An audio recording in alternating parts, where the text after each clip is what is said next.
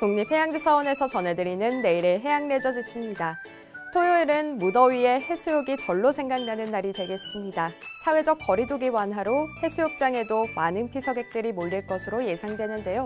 이용객 간의 밀접 접촉을 피하고 조용히 휴식을 취하고 싶으신 분들은 한적한 해수욕장은 어떨까요? 해양수산부에서 한적한 해수욕장 50개를 선정했다고 하는데요.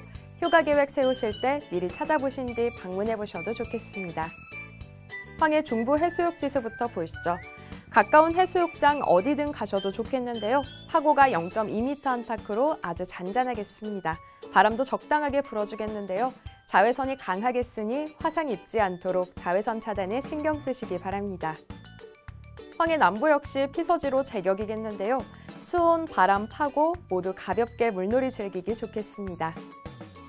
제주 해협에서도 해수욕장 개장이 시작됐는데요. 두 해수욕장 역시 지수 긍정적입니다. 오전도 해수욕 즐기기 무난하겠지만 오후에 바람이 더 약해지면서 매우 좋음까지 지수 오르겠습니다. 대한해협으로 가봅니다.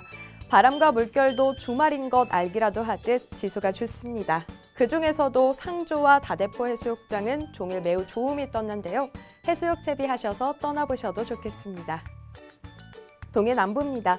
어느 곳이든 해수욕하기 나쁘지 않겠지만 종일 조음 들어온 영일대 해수욕장에 눈이 가는데요.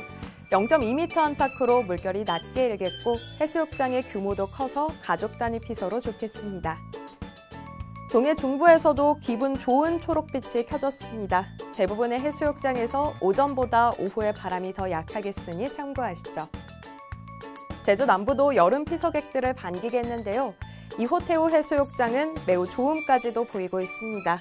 제주의 투명한 바다에 발을 담가보며 더위 식혀보시죠. 스킨스쿠버도 조음 들어온 곳들로는 즐겁게 즐길 수 있겠습니다.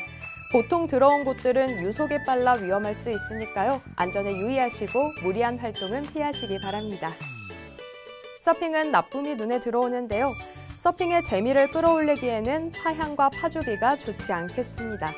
송정 해수욕장에서는 오후에 파양이 좋아지면서 조음 떴는데요. 서핑하기 좋은 파도를 잡아 즐겨보시죠. 이상 내일의 해양레저 지수였습니다.